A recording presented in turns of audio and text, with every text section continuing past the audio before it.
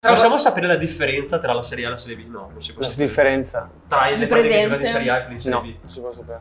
No, Posso Ti fai conto che da- eh, a 16 anni ho iniziato nei professionisti. basta allora. ci- No, è Serie A. Serie A. Aspetta, se professionisti, proviamo a capire anche Lega Pro.